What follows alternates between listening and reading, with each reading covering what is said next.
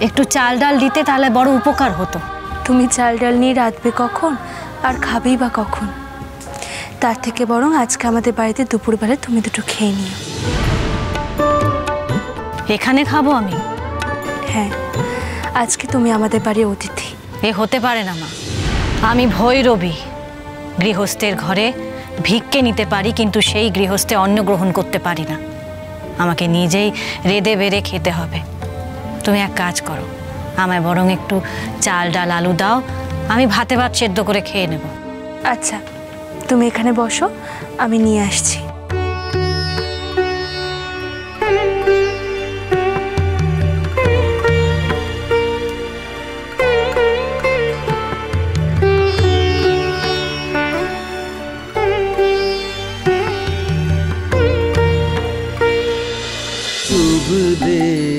রামপ্রসাদ সোম থেকে রবি প্রতিদিন বিকেল সাড়ে পাঁচটায়। স্টার জলসায় ও ডিজনি প্লাস হটস্টারে